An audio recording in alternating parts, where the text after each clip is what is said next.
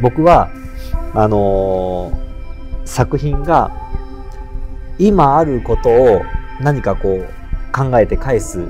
ということよりも今までやってきたことを少しずつ、え積み重ねてで次のものに行こうとしています。僕の現場はいろんな人が交差するあのそんな場所ですのでそこで起こること自体がこの世界に起こっている全てのことの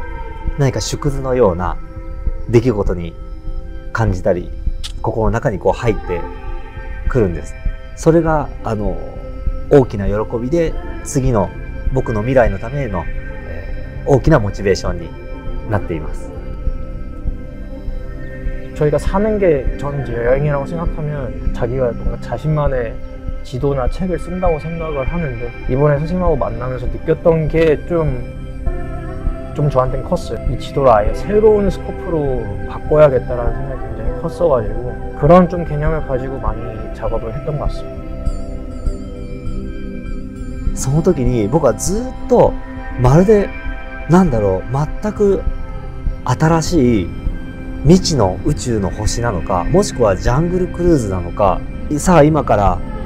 この地図のない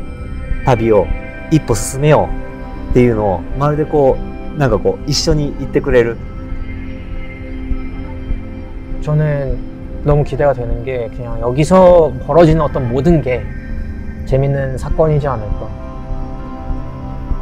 僕たちがその喋ってる中でそのタイトルがシナプスに決まったまるで私たちのこの間にあるその何か何かわからない でもその交換し合ってるそのこのこの接点とタイトルが今僕の中でピタッとこうね